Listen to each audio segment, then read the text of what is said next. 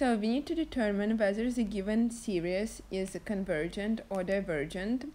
Um, we will use the ratio test here.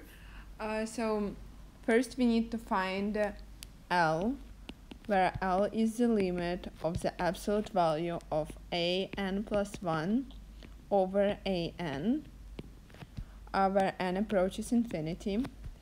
This equals, in our case, a n plus 1 equals uh, um, 3 over the square root of n plus 1 and a n equals 3 over the square root of n and approaches infinity.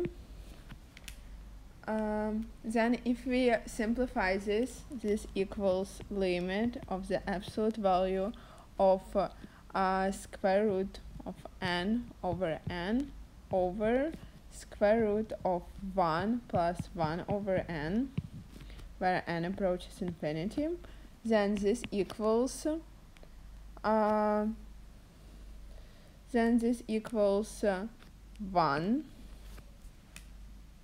Uh, and since we know that uh, if L equals 1, then the ratio test fails. So here we write down that the ratio test, the ratio test fails.